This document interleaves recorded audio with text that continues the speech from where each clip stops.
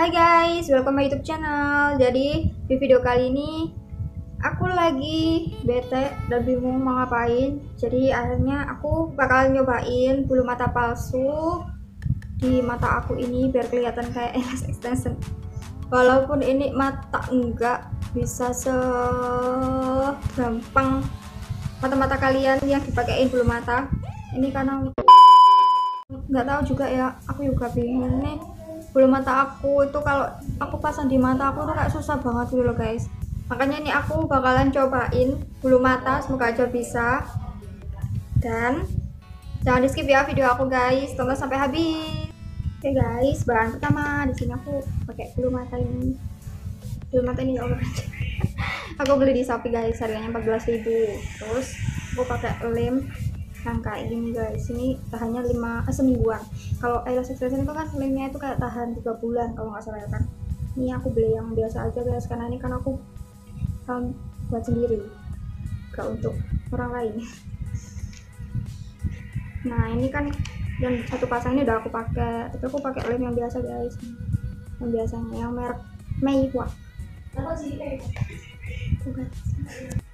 Oke guys, sekarang bulu matanya aku buka dari tempatnya.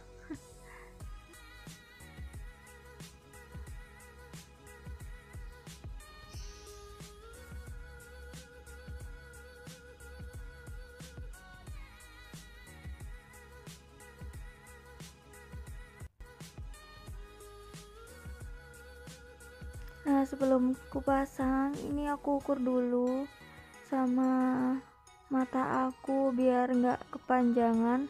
Karena belum mata aslinya tuh dari sananya kan panjang sih guys. Nah ini kan berhubung mata aku um, kayak kecil jadi harus ngukur lagi.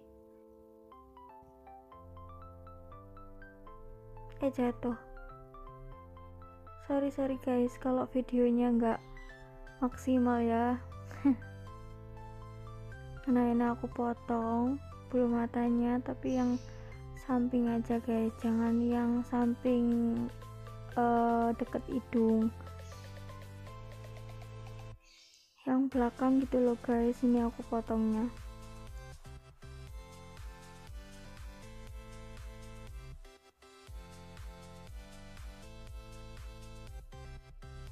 Terus aku buka ini.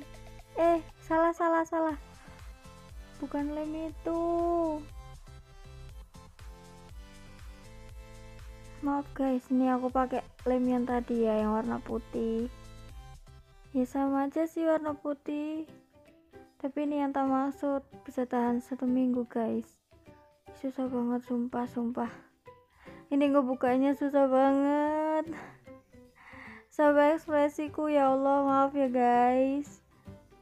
Kalau ekspresi wajahku kurang enak dilihat. Ya sih orangnya jelek. Gak apa ya guys nah ini aku olesin ke permukaan bulu matanya. Tapi yang atas ya guys. Kalau kita pasang kan bulu mata biasanya kan itu yang di bawah. Nah ini aku pakainya itu di bawah bulu mata aku yang asli guys. Jangan ditaruh di atas karena ini kan um, temanya niru gaya eyelash extension kan?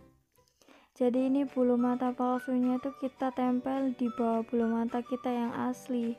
Nah bulu mata yang aku yang punya aku ini yang asli tadi aku olesin lem bulu mata sedikit karena biar um, kayak lebih nempel gitu loh guys. Kalau udah kita rapiin nih guys pakai tangan. Nah oke okay guys ini aku rapikan pakai jari aku biar kelihatan kayak nyatu sama bulu mata aku yang asli gitu loh guys.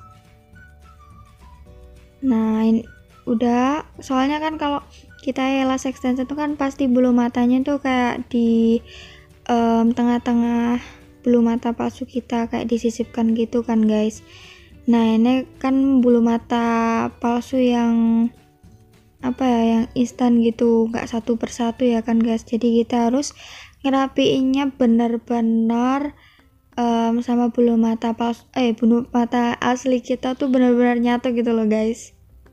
Nah kalau kurang enak dirapiin terus pakai jari guys biar makin sip.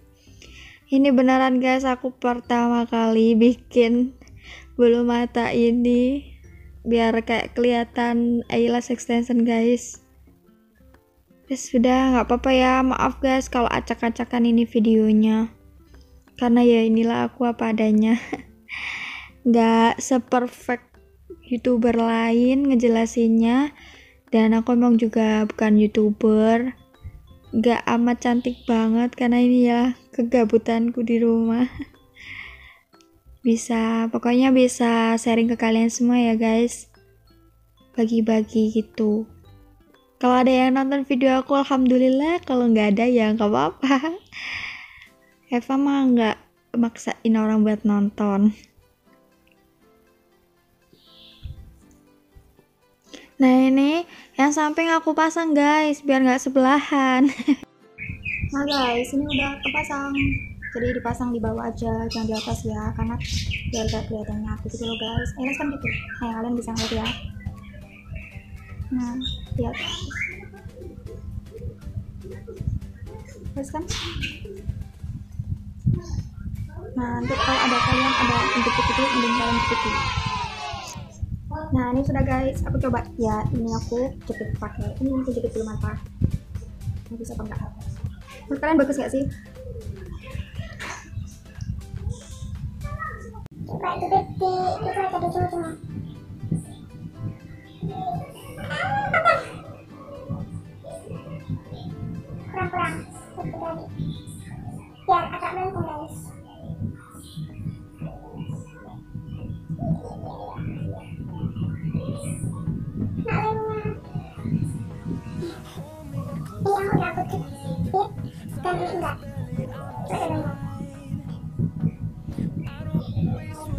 guys ini hasilnya guys. Menurut kalian bagus apa enggak? Kalau bagus komen di bawah guys ya. Um, kalian bisa komen di bawah tapi ingat komennya itu yang baik-baik aja guys ya. Apa kasih saran atau gimana terus tanya. Tapi yang sopan ya guys. Jangan yang kasar gitu kalau tanya. Aku karena aku biasanya itu secara tulus guys. Jadi enggak enggak ada jadi semoga kalian suka. Jangan lupa like subscribe komen di bawah. Dan share. Bye.